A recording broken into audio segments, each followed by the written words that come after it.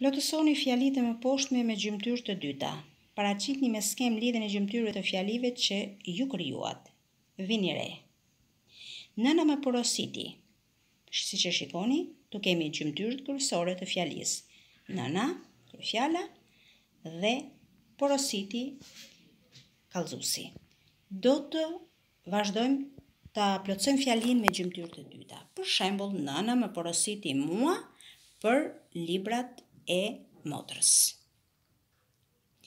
E, besoj që e keni të qartë.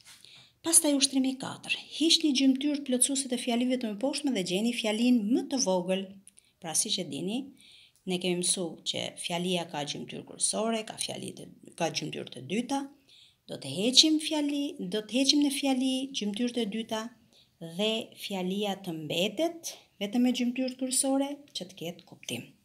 Për shembull, nxënësit e klasës së 9 të shkollës sonë janë përgatitur shumë mirë për konkursin e gjuhës shqipe. Pra, kush është përgatitur shumë mirë për konkursin e gjuhës shqipe?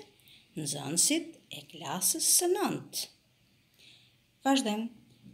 Ç'bëjnë nxënësit e klasës së nëntë? Janë përgatitur. Atëherë si janë përgatitur? Shumë mirë. Për çfarë janë përgatitur? Për konkursin. për konkursin e kujt e gjuhës shqipe.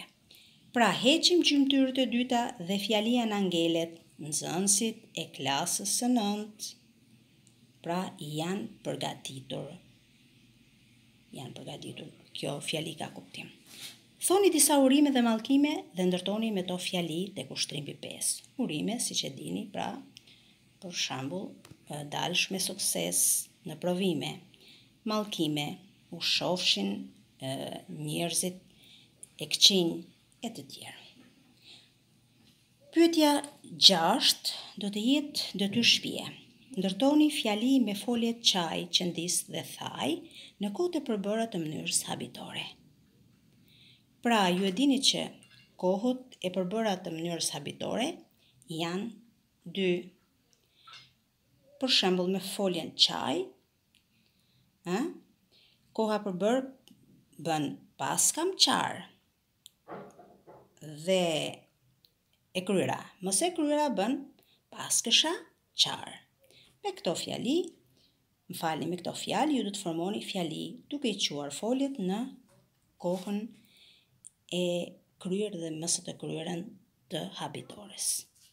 Me ç'mjete gjuhësore mund t'i zëvendësojmë ndajfoljet e formuar me prapashtesën isht, ndërtoni fjali me to.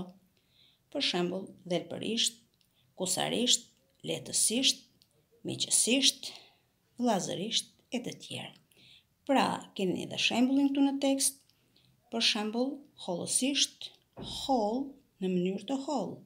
me hollësi, në mënyrë të hollësishme e të tjerë.